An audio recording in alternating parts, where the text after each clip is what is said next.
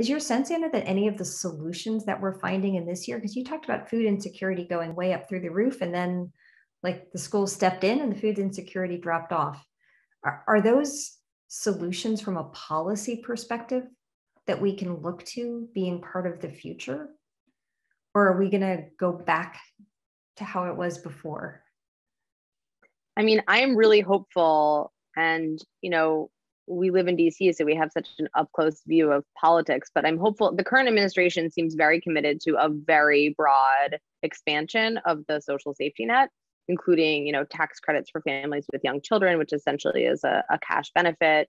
um, and and expanded food assistance. So this idea of what Tanya mentioned that they're going to strip away the vouchers that they gave to high school students um, is seems to be working at cross purposes with what the rest of the administration the administration is saying about other social programs. I would like to see i would i would guess that some of these things are going to stay like more generous food benefits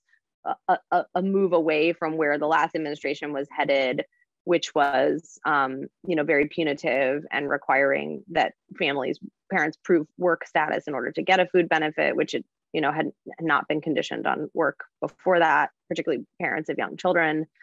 Um, so i'm hopeful that that we've gone away from that and that will be that somehow this administration will figure out how to make that hard to undo. Um, but i do i do think that if there's a silver lining to this pandemic particularly for vulnerable low income households it is that it has made things that some of us always knew were there much more visible and it has made it clear that some of these problems cannot be solved, but can be, some band aids can be applied more effectively.